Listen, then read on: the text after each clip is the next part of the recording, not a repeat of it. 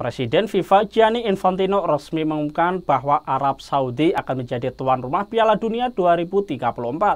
Ditunjuknya Arab Saudi tersebut menjadi ketiga kalinya Piala Dunia FIFA diselenggarakan di Asia setelah tahun 2002 dan 2022.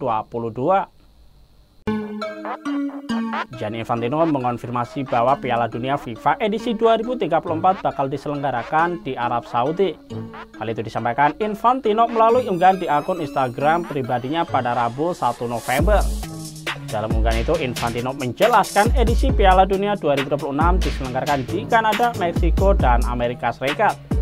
Kemudian edisi berikutnya yakni 2030 Piala Dunia diselenggarakan di enam negara yakni Maroko, Portugal, Spanyol, Argentina, Paraguay, dan Uruguay.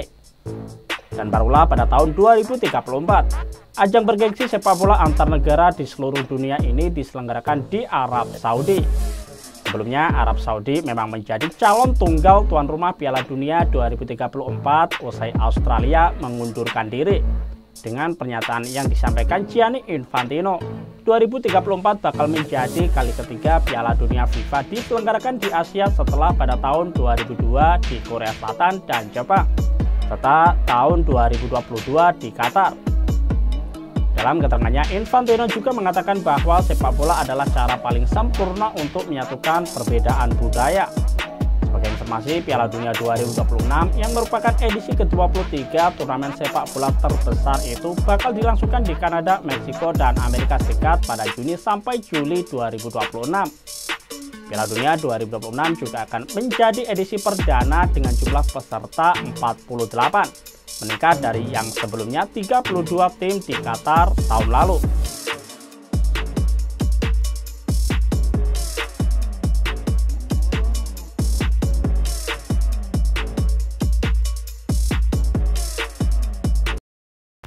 Jangan lupa follow, like, dan subscribe sosial media Tribun Jateng.